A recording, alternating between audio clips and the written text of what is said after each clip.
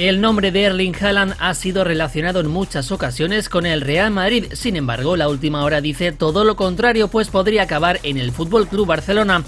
De acuerdo con la información de Oriol que en el programa 11 del medio catalán TV3, el delantero noruego podría romper su contrato con el Borussia Dortmund este próximo verano y acabar recalando en el Barça el deseo de su actual representante Mino Rayola.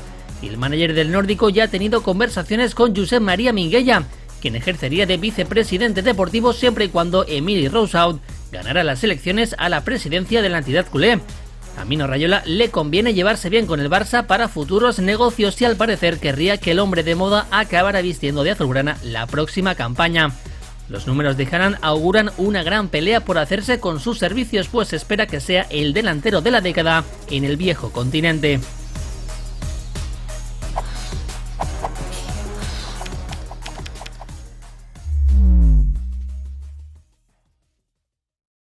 Ya que nos encontraste, no nos pierdas. Suscríbete a nuestro canal de YouTube de Telemundo Deportes.